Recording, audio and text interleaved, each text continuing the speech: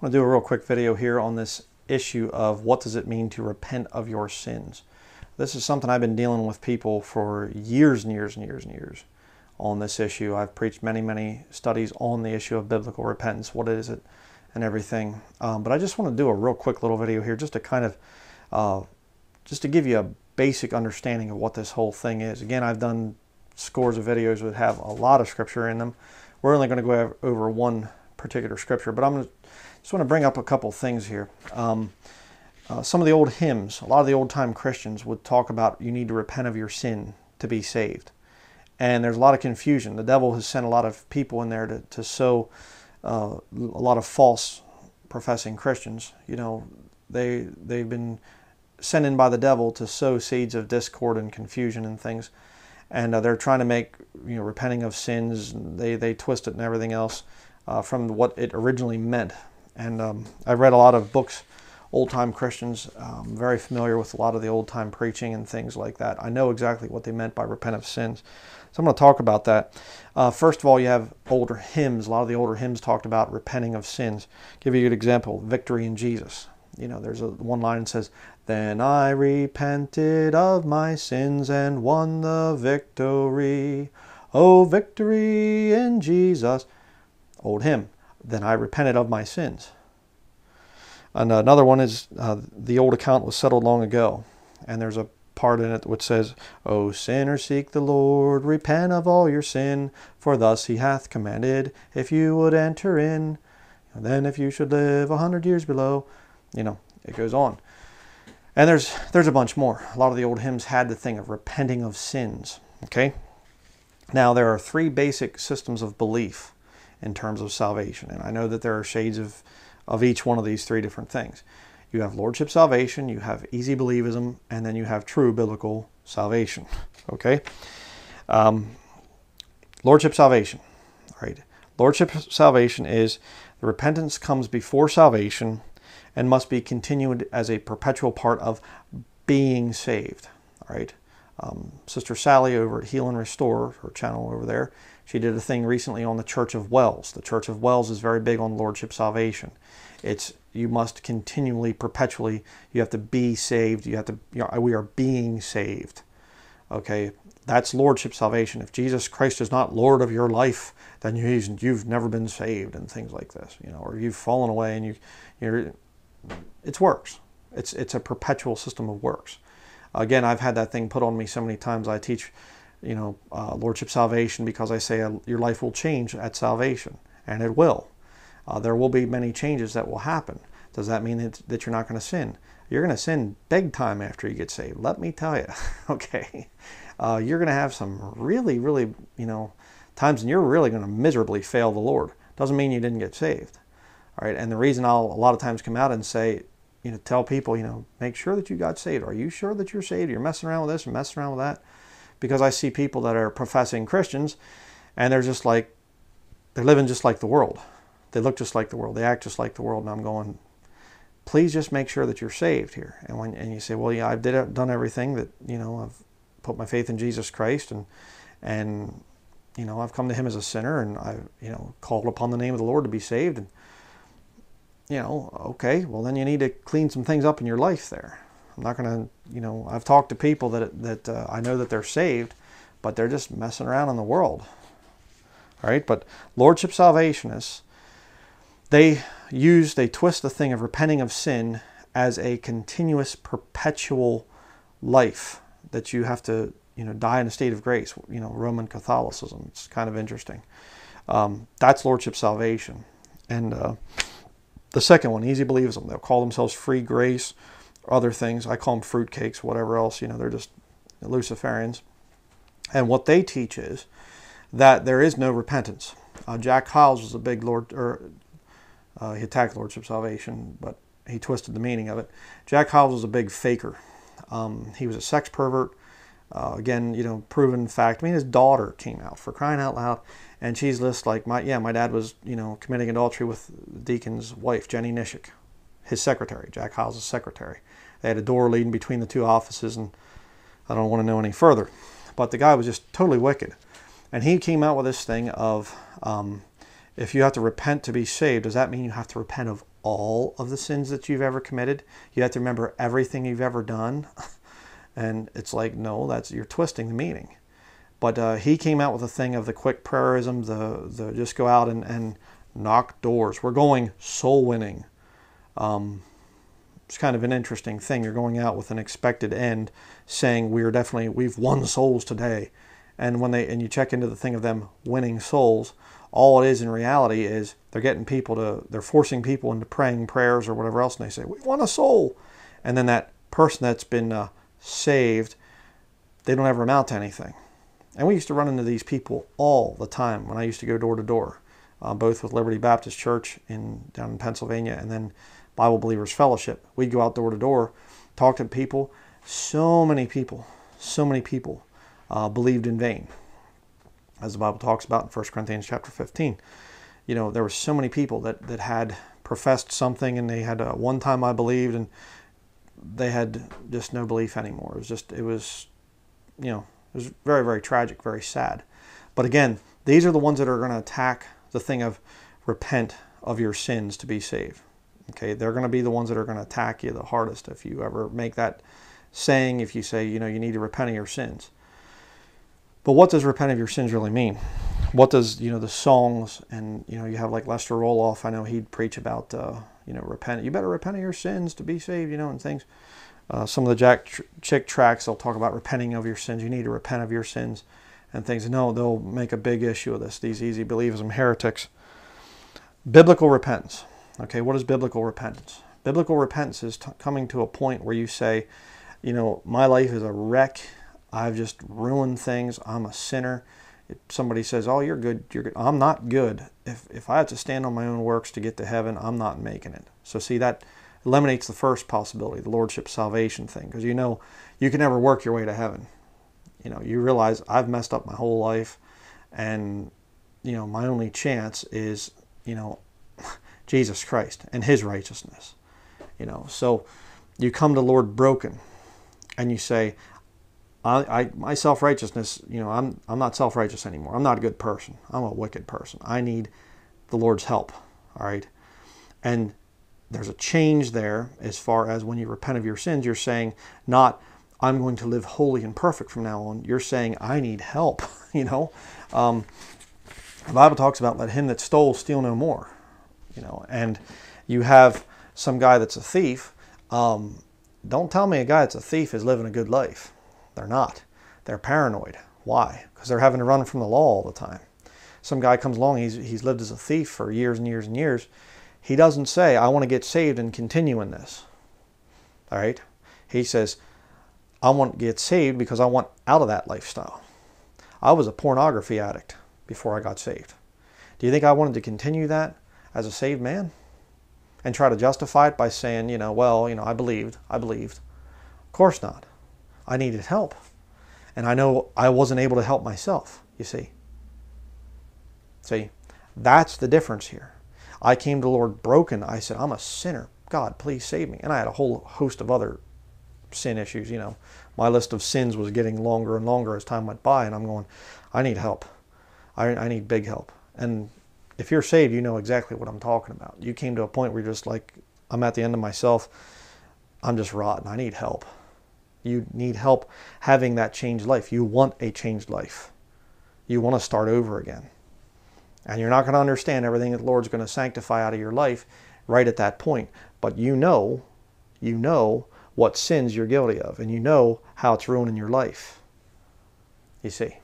So some guy comes along and he says, You need to repent of your sin to be saved what you're thinking is, I got to stop doing this thing. I have to, uh, but I can't quit it on my own. I need help. I realize I'm, I'm basically on a runaway locomotive right now and the bridge is out up ahead. And if I don't get help soon, I'm going to crash. It's going to be the end of my life. Again, uh, another thing I'll just say about my own personal testimony. I was an adrenaline junkie. And it was just like, you know, let's see how fast I can go this time uh, let's let's see how close to death I can get. You know, I mean, it was just I was just trying to find the next thrill with motorcycles and ATVs and fast cars and things like that, and it was just just pushing that envelope all the time. And I knew in the back of my mind, I never thought I'd see 40 years old. I remember thinking that. I thought, I'm going to be lucky if I get to 30.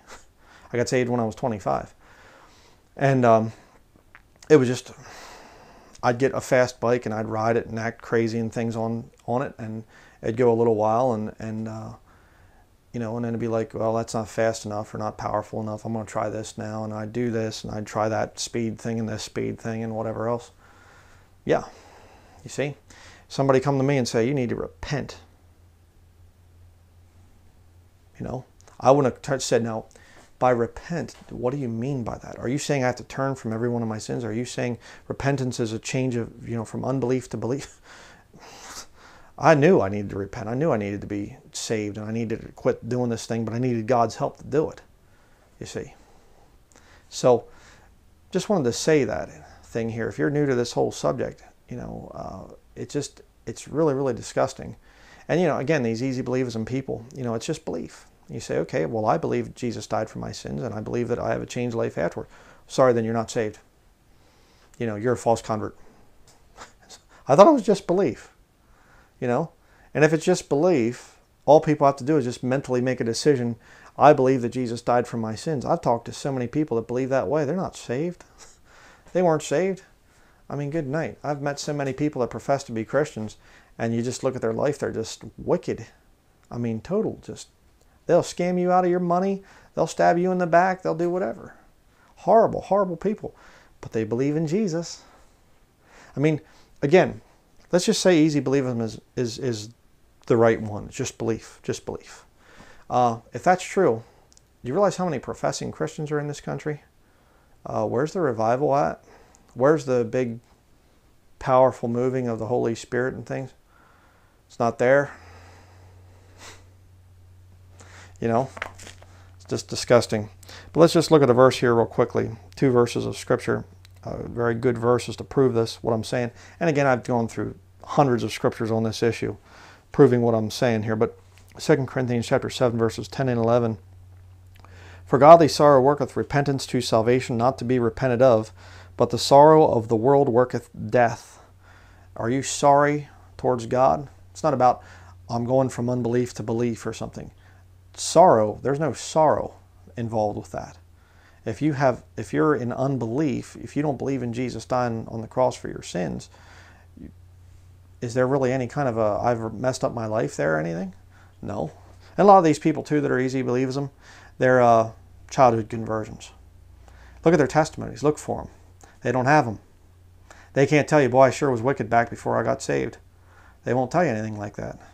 You look into them, I got saved as a two year old or something like this. Boy, you know, coming out of a life of sin there, you know, it's ridiculous. Almost, in fact, I would say almost all of these people I've dealt with over the years, you check them, ask them for their testimony. They got saved as little children, most before the age of accountability, before they could even understand. You know, it's crazy. And I was a victim of that myself. I did some little prayer in uh, Sunday school back when I was eight years old, and I thought for many, many years, I thought, I guess that's when I got saved. I was very confused on the issue. But what happens when you get really saved? Verse 11 For behold, this self same thing, that ye sorrowed after a godly sort, what carefulness it wrought in you, yea, what clearing of yourselves, yea, what indignation, yea, what fear, yea, what vehement desire, yea, what zeal, yea, what revenge, in all things ye have approved yourselves to be clear in this matter you have to be approved as a Christian. And that'll become readily apparent as time goes on and things get worse and worse and persecution of Christians actually gets stronger.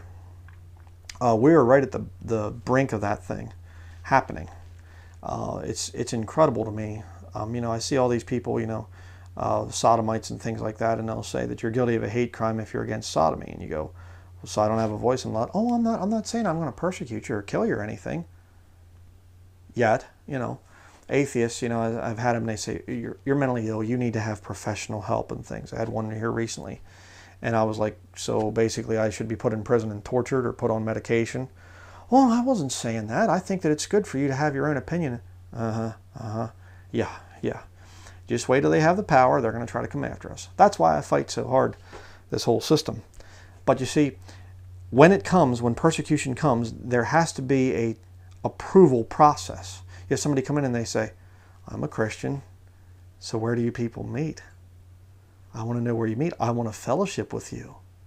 You just go, oh, praise the Lord. You believe Jesus died for your sins? Well, come on in. You know, no. You're going to have to sit that person down and say, you say you're a Christian. Okay, well, I have some questions for you. What do you think about this? What do you think about that? What do you think about this doctrine? That, what's your testimony? You know, some guy, well, I got saved when I was two years old. Uh, you wouldn't have understood sin back then. You see? So watch out for people warning you about this thing of you need to repent to be saved. You know, to be saved. You know, you need to repent of your sins and things like this. Watch out for that. And again, the easy believism crowd. They're the most demonic out there right now, I believe. Lordship salvation, you know, it's just whatever, just Calvinism basically.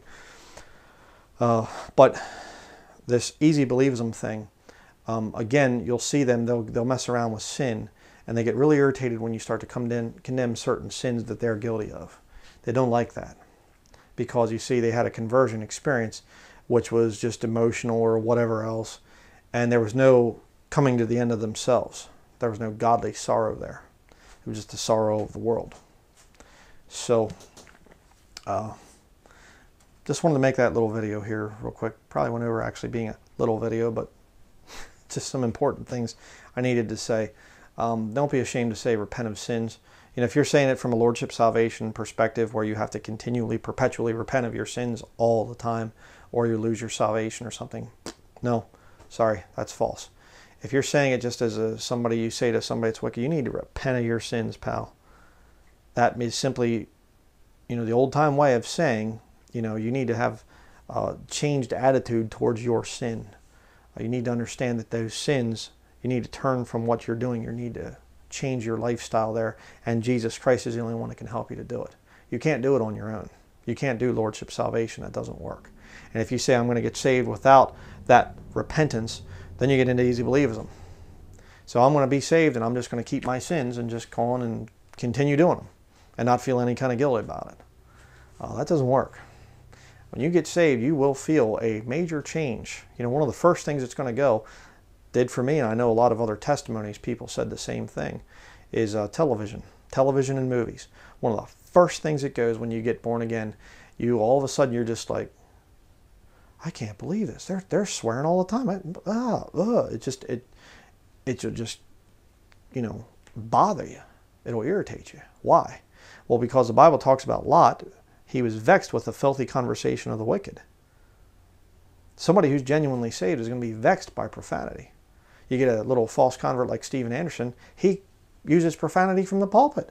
And most of his, his uh, viewers, they comment in this channel, I've had to ban so many of them over the years using profanity, including the F word. You know? I'm going, yeah, okay, you people are saved. Easy believism. That's what these people are. It's, it's, it's tragic. It really is. Uh, they're thinking that they're saved and they're not. So, just wanted to make that video here and um, just stand firm and um, you know don't let people get you down if you're saying that you know saying to people hey you need to repent of your sins and things like that I just want to say one other thing another old time saying that they had they'd say so and so got religion and what they meant by that is there's a changed life they'd see some guys out carousing running around with women and he's drinking and fighting and whatever else and uh, all of a sudden he changed and he's not cussing and he's not drinking. He's cleaned up. He's witnessing about Jesus Christ. They say, I got religion. Mm-hmm. And you see, that's where the saying came from, that time period back then when they said, you need to repent of your sins. That's what they meant. It's not having to turn from each of your sins and continually live a perpetual sinless life. That's not it. And it's not some kind of a thing of turning from unbelief to belief. That's not it either. So stick with what the Bible says about repentance. Okay? Thank you for watching.